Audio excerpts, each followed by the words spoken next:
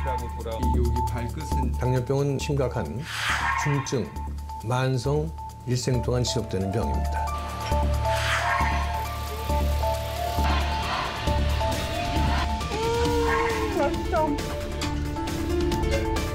너무 달거나 혈당을 순간적으로 높이는 음식, 또 살찌게 하는 기름진 음식은 당연히 피해야 되는데 빠르게 조절할 수 있는 방법 중에 하나가 사실은 음식 조절입니다.